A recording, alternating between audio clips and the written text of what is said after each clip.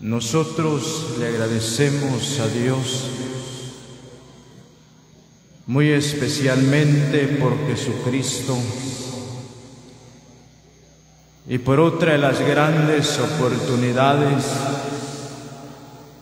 que Dios concede a la iglesia para poder congregarnos y poderle predicar el Evangelio a usted que ha hecho bien en venir y está con nosotros. Dios se alegra, amigo, señora, de mirar cómo ustedes se han acercado y ocupan un lugar para oír este mensaje. También nosotros nos alegramos al ver cuando las personas atienden la invitación de parte de Dios. ¿Cuántas personas ellos no pudieron venir? Quiero explicarle que ellos pensaron, pasó por sus mentes diciendo, yo me voy a preparar, me voy a encaminar voy a estar en la presencia de Dios. Si Dios va a tocar mi corazón, yo me voy a entregar a Cristo. Ellos pensaron, pero no se les concedió. ¿Sabe por qué, señora? ¿Sabe por qué, señorita? El diablo obstaculizó el paso de ellos. Ellos por un mínimo problema. Ellos ya no pudieron venir. Qué lamentable porque esto sucede. Por eso le decía gracias a Dios que usted venció obstáculos y está ahora con nosotros para oír este mensaje glorioso Dios quiere hablarle a su corazón, señorita, en esta noche. Dios mira su necesidad, porque vivir en el pecado no es fácil. Oiga usted, dice que el hombre llora. ¿Cuántas señoritas han lamentado de vivir en el pecado? Porque dice que el pecado es una carga fatal una carga opresora, una carga que el hombre carga todos los días. Así es el pecado. Dice que ese pecado hace llorar al hombre, aunque el hombre, a veces el hombre no muestra, el hombre se hace del fuerte, oiga usted, pero el hombre interior, por dentro, el hombre llora el hombre llora por las noches. No sé si le ha pasado a usted, si le ha pasado, usted comprenderá lo que le estamos hablando en esta noche. Si usted va a sentir que el Señor va a tocar su corazón, ojalá que ya no se vaya a quedar en su silla así como vino y usted se va a regresar en el pecado Ojalá que usted se pueda levantar de su silla y poder encaminarse aquí en cerca de este púlpito. Puede usted arrodillarse y pídele perdón al Señor por sus pecados. Él llegó a decir, todo que el Padre me da, vendrá a mí y el que a mí viene, yo no le voy a echar fuera y yo no lo voy a rechazar. Esto es lo que hace el Señor, no importando qué clase de pecado haya cometido el hombre o está practicando. Cristo esto no viene a, decirle o a reclamar a las personas, no, Él ha venido para perdonar sus pecados en esta noche y ojalá que usted pudiera comprender, pudiera entender el llamado del Señor. Le decía, ojalá que usted va a esforzarse a ponerle atención a este mensaje que quisiéramos entregarle con todo nuestro corazón y en el nombre del Señor Jesucristo. Estamos leyendo este versículo. La palabra de Dios dice, por cuanto todos pecaron y están destituidos de la gloria de Dios, quiero explicarle ese momento cuando el mundo entero quedamos totalmente destituidos de la gloria de Dios. Usted venía oyendo como el hombre cayó en pecado cuando Dios formó al ser humano. Dice la escritura que Dios hizo al hombre recto cuando el hombre fue colocado en el huerto allá en el Edén. Dice que Dios les empieza a explicar de esto. Pueden comer ustedes de este árbol, también de esto.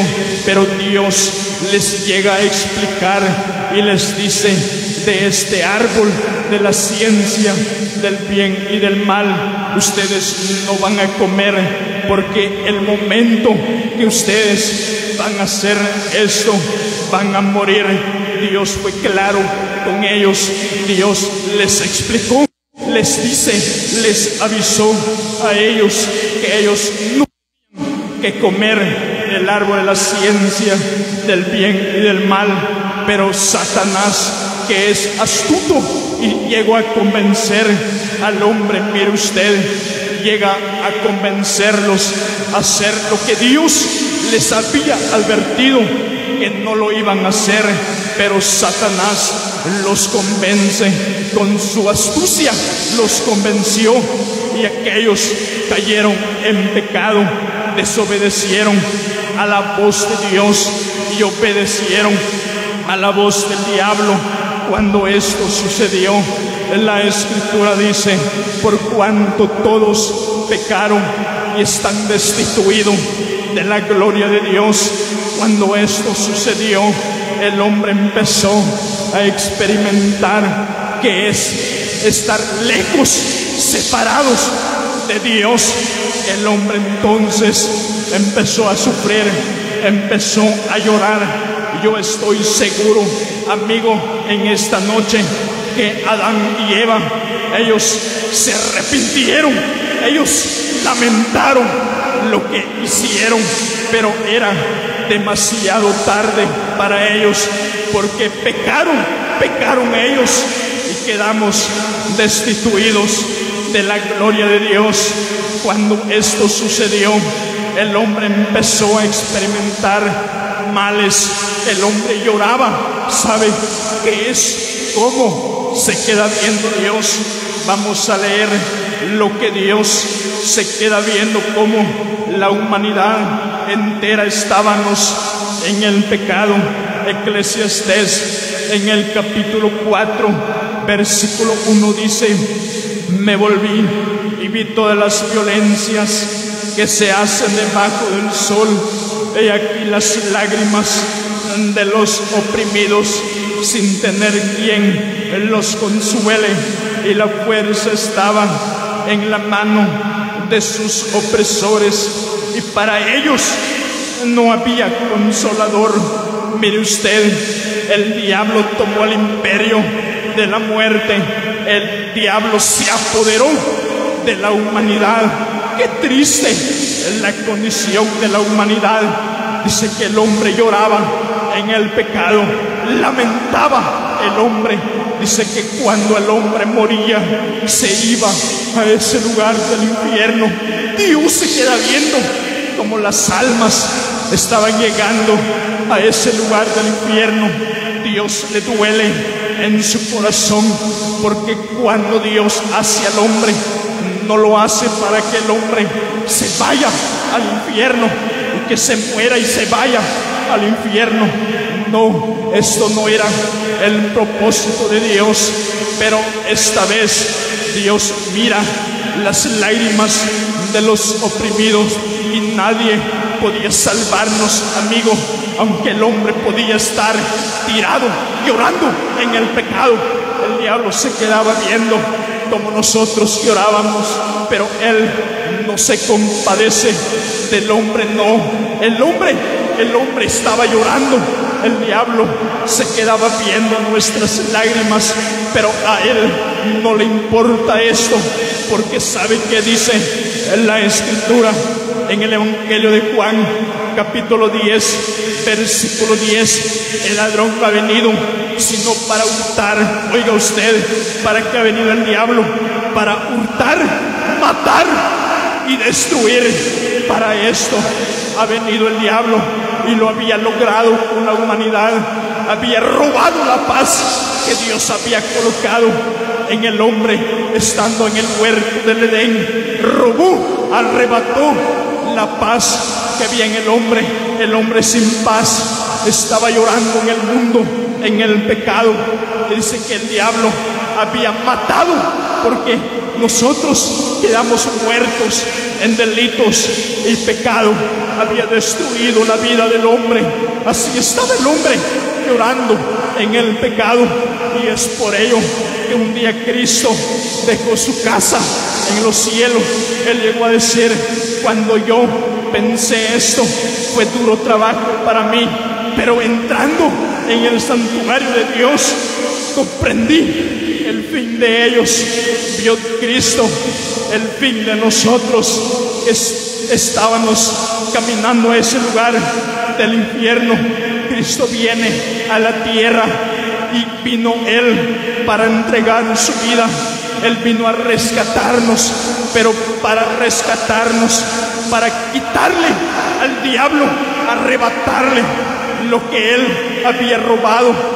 Tenía que Cristo padecer, no solamente sufrir, sino que tenía que morir y dar su vida de una manera que usted tal vez no se ha llegado imaginar lo que Cristo hizo por amor a nosotros. Un día Cristo, a Él lo golpearon, lo azotaron, sus espaldas. La Biblia dice que sus espaldas quedaron como largos surcos diarados.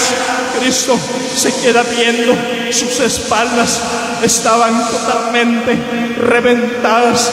A él le dolía, claro que sí, le dolía a él porque él tenía un cuerpo como la del ser humano, un cuerpo como la de nosotros, pero él sin pecado, él no tenía pecado porque él era limpio de manos y puro de corazón, que jamás elevó su alma a cosas vanas ni juró con engaño, pero a Cristo lo golpearon. Un día él salió cargando su cruz hacia ese lugar de la calavera. Los hebreos, ¿sabe cómo lo llamaban los hebreos? Los hebreos lo llamaban Gólgota, así lo llamaban. Cristo sale cargando su cruz y él va caminando, él va herido, lo alcanza a ver en esa noche. Señorita, señora, repitamos a ver a Jesús. Él va caminando, sus espaldas heridas, su cabeza iba coronado, una corona de espinas. Él va, llega a ese lugar de la calavera. Cuando él llegó a ese lugar, él voluntariamente, él se acostó en la cruz. Aquellos hombres tenían preparado aquellos clavos y aquel martillo y empezaron a clavar sus manos y sus pies, estando él clavado de sus manos y de sus pies.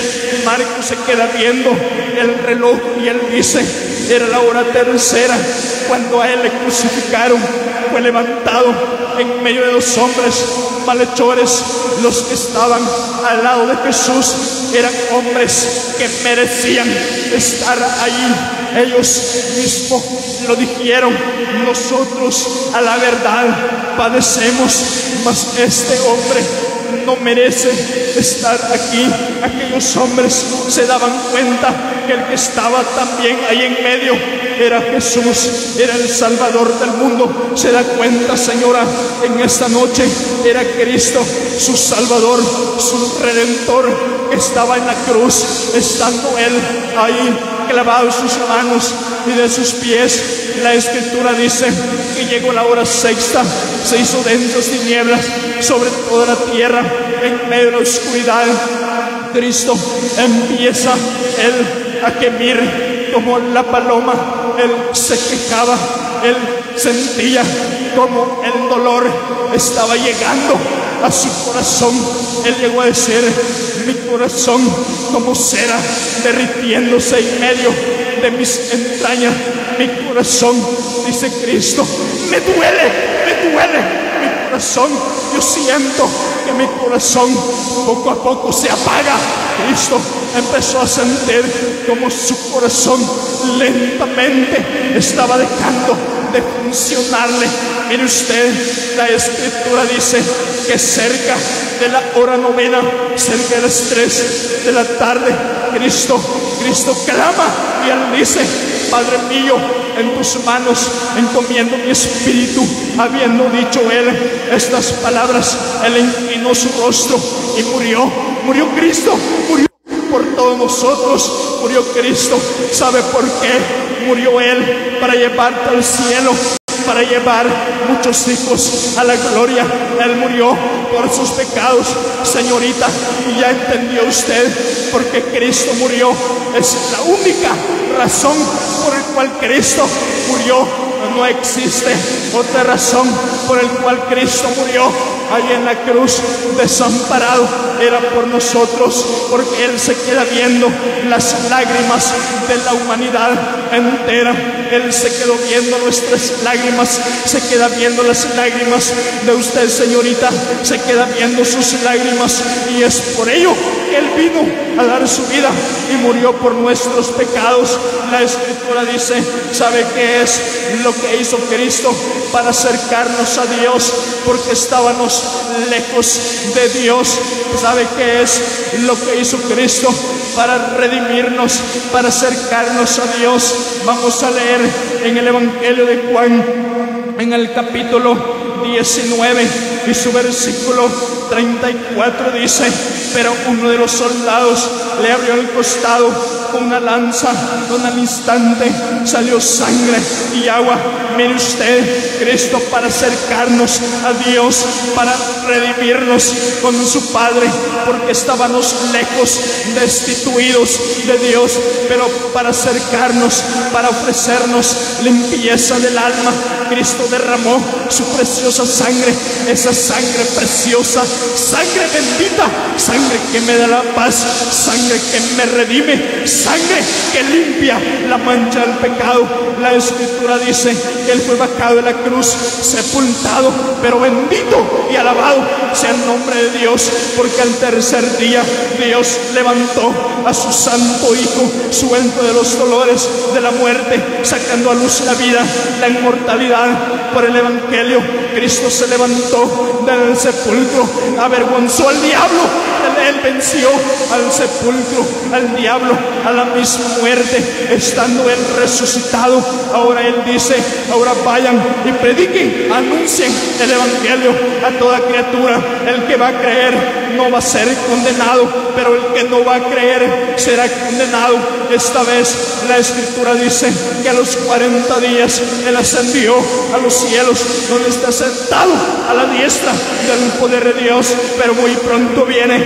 Sabía, señorita, que Cristo muy pronto aparecerá con nosotros en la iglesia, pero hay una mala noticia. Si usted no tiene Cristo, se va a quedar porque Cristo viene por un pueblo redimido. Los que un día fuimos salvos, los que un día fuimos huyentes del Evangelio, pero cuando Dios tocó nuestro corazón, aceptamos a Cristo y nos trabamos en su sangre. Él viene por la iglesia sin mancha, esa iglesia que nosotros lo estamos esperando.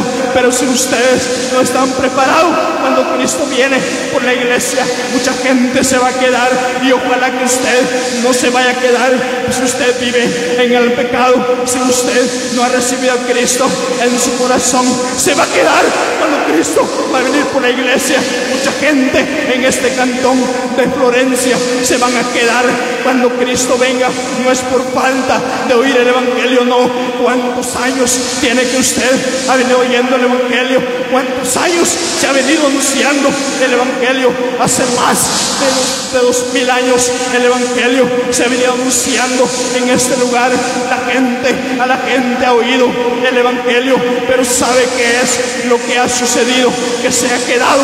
¿Cuántas veces usted ha sentido que la palabra de Dios ha tocado, ha quebrantado su corazón oyendo esta palabra, esta palabra poderosa que llega a quebrantar el corazón del hombre? Tal vez usted un día llegó a sentir como el Señor empezó a tocar, a quebrantar su corazón, empezó a derramar sus lágrimas, sintiendo el poder de la palabra de Dios, pero se quedó pensando, diciendo, mañana lo voy a hacer, pero ese día, ese día hoy ha llegado la palabra de Dios en su corazón, ha llegado esta grande oportunidad, gracias a Dios, porque usted tiene esta grande oportunidad que dice su corazón esta noche, señorita, que dice la palabra de Dios ha tocado su corazón, si usted siente que la palabra de Dios ha tocado su corazón, Cristo dio su vida por usted, usted que ha hecho por Cristo, solamente le ha dado las espaldas al Señor, que mal hallado en Cristo, usted ha rechazado, cuántas veces ha rechazado el Evangelio, el Señor todavía está aquí y le está llamando, Él dice, aquí yo estoy a la puerta y estoy llamando a la puerta de tu corazón, si alguno oye mi voz y abre la puerta de su corazón, yo quiero entrar a la puerta de tu corazón, el Señor quiere entrar en su corazón, ¿qué dice? En esta noche le abre la puerta de su corazón a Cristo o lo va a rechazar. ¿Cuántas veces lo ha rechazado? Pero el Señor no se ha cansado de estarlo llamando porque Él dice, aquí la mano de Jehová no se ha cansado para salvar, ni sus oídos se ha grabado para oír al Señor. El Señor le salva si usted viene con ese corazón quebrantado porque el Señor, ese corazón juntito y quebrantado, jamás lo va a rechazar. ¿Cuánto pecado tiene? Si usted se muere en el pecado, se va a ir al infierno, quiere irse al infierno, quiero explicarle en el momento que me queda, quiero explicarle cómo está sucediendo en ese lugar del infierno. La escritura dice que el infierno son prisiones de oscuridad. No voy a pensar que la gente está sentado en una silla, así como usted, usted está sentado en una silla en medio del pueblo del Señor. Es una dicha, ¿sabe por qué? La escritura dice, bienaventurados los que oyen y los que leen las palabras. Esto es lo que el Señor dice. Usted bienaventurado, dichoso el hombre que todavía tiene la oportunidad de oír el Evangelio. La gente que ha caído a ese lugar del infierno dice que ellos hacen lo posible de colocarse de rodillas. Ellos hacen lo posible de arrodillarse. Tal vez nunca lo hicieron estando en la presencia de nuestro Dios por la vergüenza, por el miedo y el que dirán. Ellos jamás se arrodillaron. ¿Sabe por qué? Por la vergüenza. Ahora ellos están allá arrodillados. ¿Cuántos días, años llevan arrodillados en este lugar? Y ellos dicen, Señor, Señor, hoy sí lo creo, Señor. Ellos quisieran tener otra oportunidad, pero ya no. Las oportunidades también la tuvieron ellos, pero es demasiado tarde. Por eso la escritura dice, aún hay esperanza para todo aquel que está entre los vivos. Usted mientras que vive tiene esperanza que dice su corazón. El Señor ha tocado, ha quebrantado su corazón, porque esta palabra que hoy está oyendo es más viva y eficaz que toda espada de dos filos que llega a partir, a penetrar el alma. Y cuando el hombre llega a sentir esto, no aguanta, no aguanta el hombre, empieza a sentir que su corazón empieza a palpitar. Más de lo acostumbrado.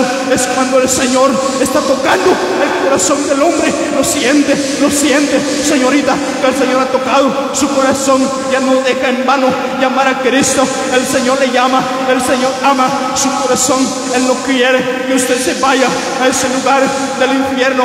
Y es por ello que Él dejó su casa allá en los cielos para venir, porque Él vio que estábamos lejos, destituidos de la gloria de Dios, pero para acercarnos a Dios, para redimirnos con Dios, Él derramó su sangre y para con esa sangre nos ha limpiado y quiere limpiar la mancha de su pecado. Que dice en esta noche será posible que usted se va a regresar otra vez para su casa, así como vino con esa carga del pecado. Cuántos hombres y mujeres han llorado en el pecado, han lamentado en el silencio silencio de la noche. Estoy seguro que el diablo lo ha hecho llorar porque para esto ha venido el diablo.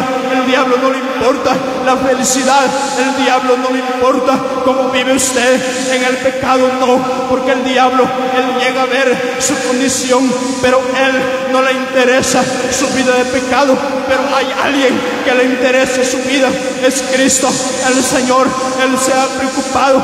Y él mira su causa, su vida, como usted está llorando en el pecado, él quiere salvarle, él ha venido para darle vida y vida en abundancia, que dice su corazón en esta noche, lo acepta o lo rechaza, cuando lo rechazaron, usted dirá, ¿será que les ha ido bien aquellas personas que han rechazado a Cristo? Claro que no. Si usted platica con ellos, a ellos les ha ido mal, han llorado, ellos siguen llorando en el pecado. ¿Cuántos desdichados, cuántas mujeres han llorado en el pecado hay por este lado? Señorita, el Señor ha venido para darle vida y vida en abundancia. El Señor quiere darle vida a usted, pero usted ha rechazado al Señor por mucho tiempo en esta noche. El Señor le sigue llamando.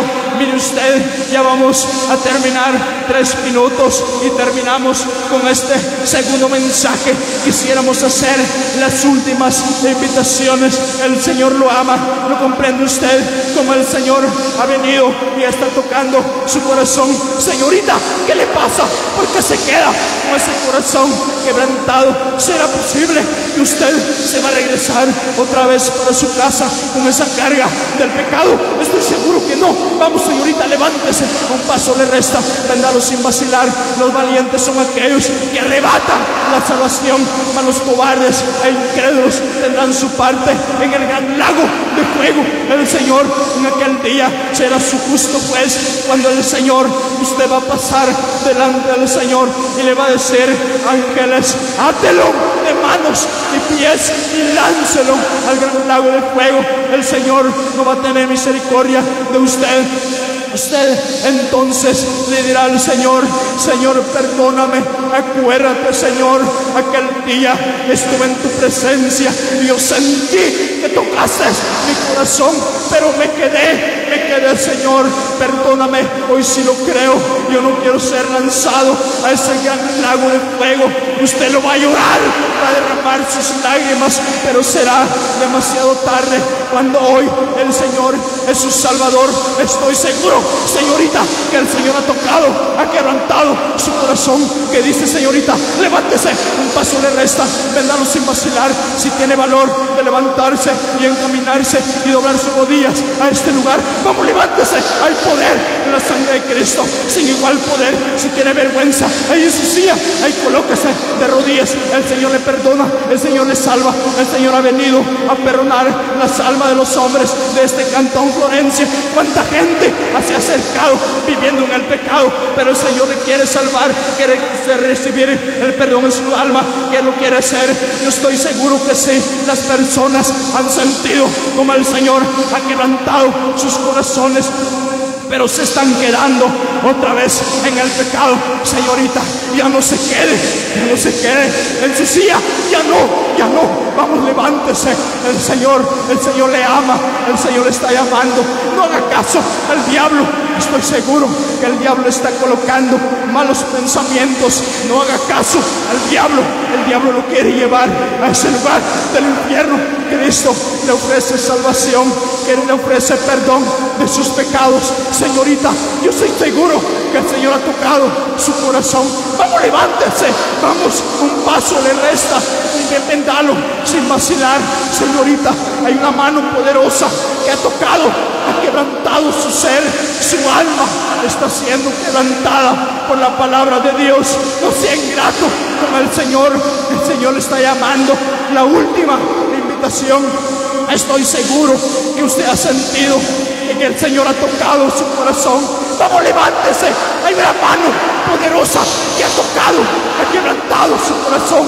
No regrese, ya no se regrese con ese corazón quebrantado.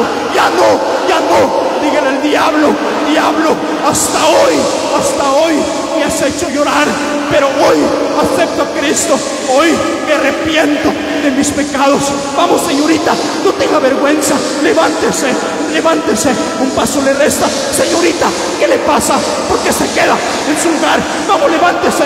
El Señor ha tocado, ha quebrantado su corazón. Pero es que sí, sus lágrimas no son capaces para salvarla, para perdonarla.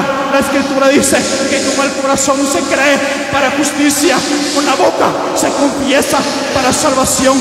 Es necesario que le confiese al Señor que es una mujer pecadora. Vamos, señorita, levántese. Mire usted, mire usted el tiempo nos ha marcado. El Señor le ama. Levántese, ahí colóquese de rodillas, ahí dése la media vuelta, ahí dígale al Señor con lágrimas en sus ojos, dígale al Señor, Señor, perdóname, perdóname, Señor, soy un hombre, pecadora, yo no me quiero ir al infierno, yo tengo miedo, Señor, de bajar a ese lugar del infierno.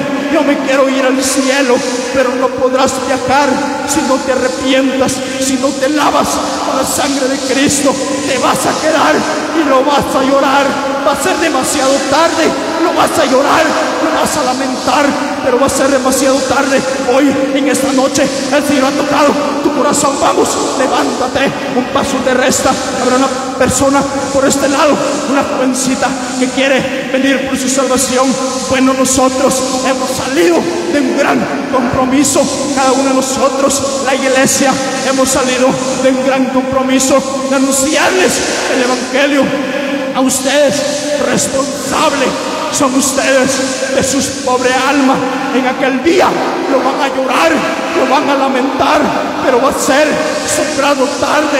En aquel día lo vas a llorar, señorita, lo vas a lamentar, pero va a ser demasiado tarde cuando hoy el Señor ha tocado, ha quebrantado tu corazón, tu corazón siente, tu alma siente la necesidad en tu ser hay un vacío en tu interior que tu alma quiere, pero tú, ingrata sos, te estás quedando en tu silla y por la dureza de corazón te quedaste otra vez. Si usted lo hace en esta noche, en el momento que reciba a Cristo en su corazón, jamás se le va a olvidar que la sangre que Cristo derramó de su bendito costado, esa sangre le limpia de todo pecado.